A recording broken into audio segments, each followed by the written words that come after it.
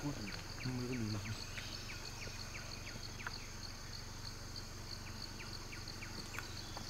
까지기도 하니까.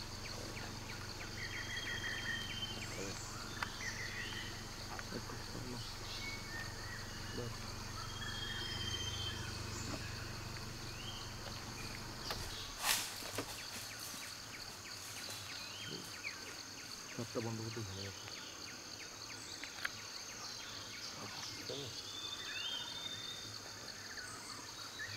같이 들고 가